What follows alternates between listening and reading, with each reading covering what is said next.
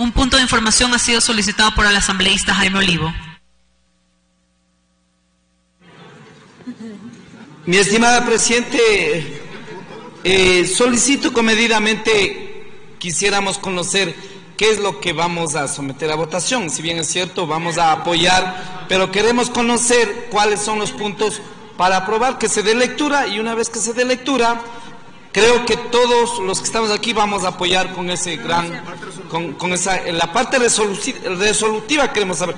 Ahora, en la conformación de la comisión, y yo sí quiero, mi estimada Presidente, Usted lo ha dicho, hay que cumplir el procedimiento. Una vez que ya se apruebe la resolución, el CAL tendrá que determinar la comisión que conforme, nada más.